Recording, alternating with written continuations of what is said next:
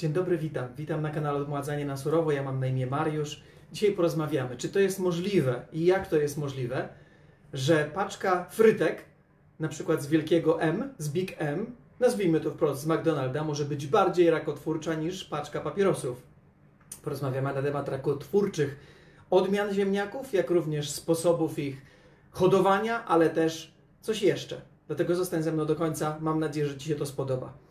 Mam nadzieję, że mnie widzisz, że mnie słyszysz. Puść mi paluszek, puść mi serduszko. Napisz w komentarzu, czy Ty nadal frytki zjadasz. Czy jesteś osobą, która już frytki odstawiła, bo było wystarczająco informacji na ten temat, że są dla nas szkodliwe.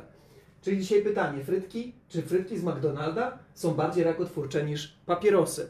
Zastanowimy się nad trzema aspektami tych frytek. Czy tylko frytki z McDonalda są toksyczne, czy też inne frytki, jakiekolwiek dzisiaj frytki dostępne z jakiegokolwiek fast foodu, czyli, czyli szybkiego jedzenia, e, czy te frytki na przykład, które przygotowujesz w domu, też są rakotwórcze. I e, odpowiemy też na pytanie, ale ja jadłem frytki od dziecka i żyję. Ja też jadłem frytki. Jadłem frytki, nawet je lubiłem. Nawet na samą myśl mi się ślina zbiera w ustach, e, ponieważ są uzależniające. Ponieważ jest tam cukier, jest tam tłuszcz, w temperaturze wysokiej jest to podgrzane, jest to uzależniające. Jak do tego dodamy jeszcze soli, no to po prostu mieszanka idealna i dlatego tak wiele osób spożywa frytki. I zastanowimy się nad tym, jakie składniki są tak naprawdę rakotwórcze. Czy to ziemniak powoduje raka, czy to oleje roślinne, na których smażymy w głębokim oleju, no bo takie frytki uwielbiają się po prostu w głębokim oleju smażyć. E, I czy właśnie tylko frytki, czy też inne e, rzeczy, które smażymy, nie tylko w głębokim oleju, ale w ogóle smażymy, e, czy to jest dla nas rakotwórcze. Zacznijmy od ziemniaka, który jest używany w sieci McDonald's. W sieci McDonald's jest używany ziemniak, który się nazywa Rasset Burbank. Nie wiem, czy słyszałeś o takim ziemniaku. Jest to specjalne wydanie ziemniaka, które jest po prostu długie. Dlaczego y, McDonald's chce, żeby ziemniak był długi? Ponieważ ma specjalnie przygotowane opakowanie i chce, żeby kiedy wrzuci te frytki e, ta, ten sprzedawca czy sprzedawczyni w McDonaldzie do opakowania, żeby one wystawały jak bukiet. Jest to po prostu chwyt marketingowy, żeby wyglądało, że tych ziemniaków jest więcej. Czyli musi być długi ziemniak, dlatego wybrano ten ziemniak. Ale ze względu na to, że ten ziemniak jest po prostu zmodyfikowany genetycznie, jest totalnie wymysłem człowieka, często choruje. Choruje w cudzysłowie oczywiście, ale ten ziemniak po prostu dostaje przebarwień. W momencie, kiedy w nieodpowiedni sposób dla McDonalda się go zbierze, w nieodpowiedni sposób się go przygotowuje do tego, żeby trafił do właśnie McDonalda, to niestety dostają się przebarwienia.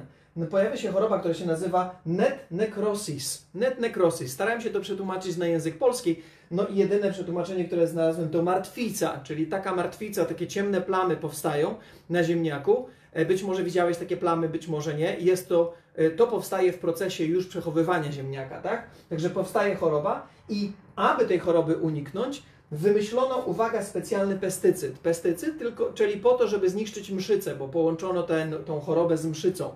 Czyli pestycyd e, wymyślono, który się nazywa monitor, tak? I stosuje się ten pestycyd na ziemniaki. Ale w jaki sposób się go stosuje i dlaczego on jest dla nas taki trujący? Wyobraź sobie, że producenci ziemniaka, hodowcy ziemniaka, e, czy, czy plantatorzy ziemniaka, to chyba najbardziej prawidłowa e, nazwa, po użyciu tego pestycydu nie wchodzą na pole, mają zakaz wchodzenia na pole przez 5 dni. Czyli przez 5 dni człowiek nie ma prawa wejść na pole, tak toksyczny jest ten pestycyd. Ubierają się w specjalne skafandry, kiedy do, to po tym polewają te, te ziemniaki, e, w specjalne maski tlenowe i tak dalej, i tak. Jest totalnie trujący dla nas ten pestycyd e, i oni go po prostu używają na ziemniaki, po prostu.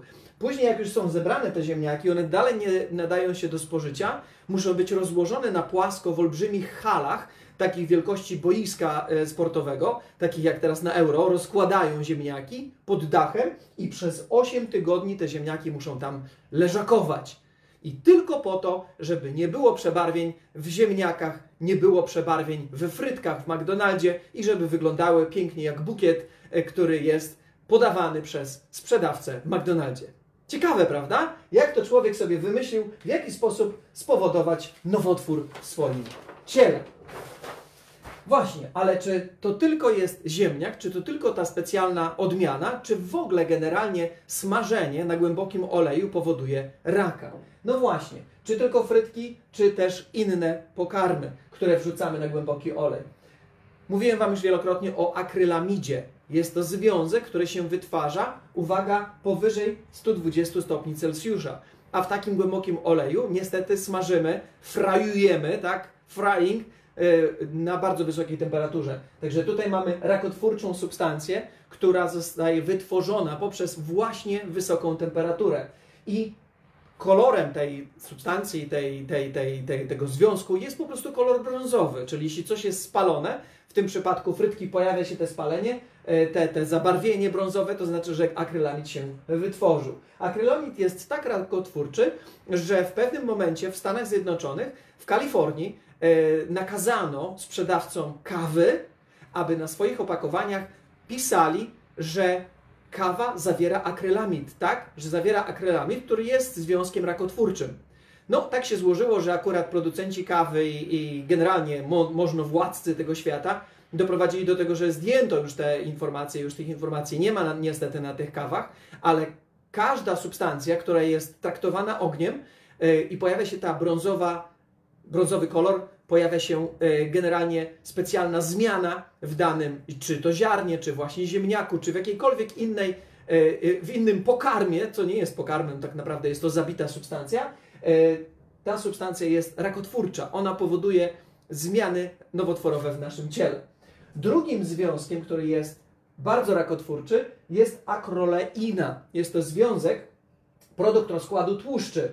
I uwaga, głównie przez kilkakrotne smażenie. Czyli to, co już wcześniej było wiadomo, że trzeba wymieniać te oleje, tak? No i część fast foodów zaczęło wymieniać te oleje, ale część to ma po prostu gdzieś, bo tak naprawdę nie byłaby w stanie podać cały czas nowych frytek czy nowego pokarmu dla y, y, kogoś, kto przyjdzie do takiego punktu gastronomicznego y, i za każdym razem wymieniać dla niego olej. Wielokrotne podgrzewanie tego oleju ro, oleju roślinnego, podkreślę, tak? Oleju roślinnego, który powstał z nasion, e, który jest e, e, rafinowany, który po prostu jest wielokrotnie smażony. Powstaje substancja, która się nazywa akroleina, która jest też rakotwórcza. Dzisiaj nie będę więcej omawiał związku, który się nazywa 4HNE, ale jest to taki związek, który też jest rakotwórczy i uwaga, nienasycony aldehyd. Jest to następny rakotwórczy związek, który powstaje w momencie, kiedy frajujemy, kiedy używamy wysokiej temperatury, oleju do tej wysokiej temperatury i na przykład ziemniaki właśnie pieczemy sobie, smażymy sobie w takim głębokim tłuszczu. I uwaga, te związki wskazują lub potwierdzono działanie rakotwórcze. Ludzie się zastanawiają, jak to jest z tym rakiem? Z czego on powstaje? Czy ja faktycznie dostałem go genetycznie? Czy ja faktycznie jestem po prostu jakiś, nie wiem, upośledzony, że mam raka? No nie rak powstaje z naszego działania. Rak, zmiany nowotworowe, czy to będzie nawet choroba układu krążenia w postaci zawału, wylewu, udaru itd., tak to są choroby nabyte przez człowieka poprzez jego niewłaściwe traktowanie swojego ciała. Coś, co jest usmażone, upieczone na głębokim oleju, jest dla nas trujące, jest dla nas toksyczne. I tutaj naukowcy mogą się prześcigać i wymyślać nazwy różnego rodzaju, znajdować związki i tak dalej, żeby dla logicznego umysłu to wytłumaczyć. Dla mnie to jest proste. Włóż rękę do takiego oleju. Przytrzymaj tą rękę tam przez 5 minut. Przez 5 minut podtrzymaj rękę i zobacz, co z tej ręki zostanie. Dlatego martwy pokarm równa się martwe ciało. Żywy pokarm równa się żywe ciało. To, do czego my zachęcamy. Ale tak naprawdę nie zachęcamy do jedzenia ziemniaków w ogóle, ponieważ nie można zjadać ziemniaków na surowo. Owszem, można sobie napić soku z ziemniaka, na, aby wysuszyć wrzody na żołądku w małych ilościach. Można gdzieś tam przy okazji zjeść kawałeczek ziemniaka. Nie wszystkie, osoby, nie wszystkie osoby zareagują identycznie, ale zjedzony ziemniak na surowo przede wszystkim powoduje gorączkę, e, bóle głowy, e, zaczerwienienie gardła, e, mogą się pojawić wymioty, a tak naprawdę przy przekroczeniu pewnej dawki solanin z ziemniaka niestety odchodzimy z tego świata, ponieważ jest to trująca substancja. Ale Mariusz, myśmy do tej pory smażyli, gotowali i piekli te ziemniaki. I co z tego? Nie rozumiemy, że ziemniak to jest skrobia. Ziemniak ma gigantyczną pożywkę skrobiową, że tak powiem. A skrobia to jest zmagazynowany, cukier. Ten cukier zamienia się na glukozę w naszym ciele. Czyli kiedy zjadamy ziemniaki, one podbijają nam cukier, powodują cukrzycę. I co z tego, że tanie? No bo gdzieś tam pod filmami pojawiają się, a ja będę jeść ziemniaki, bo są najtańsze, bo można się nawpierniczać, bo są tanie. I co to oznacza? Po prostu hodujemy sobie raka tanio. Następna rzecz, z tego, co z tego, że y, jemy od 200 lat? Mniej więcej 200-250 lat temu ziemniak został sprowadzony do Europy i został użyty po raz pierwszy. Później podczas wojny napoleońskiej został użyty jako po raz pierwszy prawdopodobnie jako pożywka dla żołnierzy. I nagle żołnierze mogli przejść całą Europę. Przeszli całą Europę, zdobyli prawie całą Europę, doszli aż do Moskwy, dlatego że mieli wypełnione żołądki. Ale czy umarł od kuli, czy umarł od miecza, czy umarł e, od ziemniaków, tego już nikt nie stwierdzi. Ale przy okazji, kiedy ci żołnierze wracali, zostawiali wszędzie ziemniaki. I te ziemniaki zaczęły do nas trafiać. I co z tego, że mamy je od 200 lat?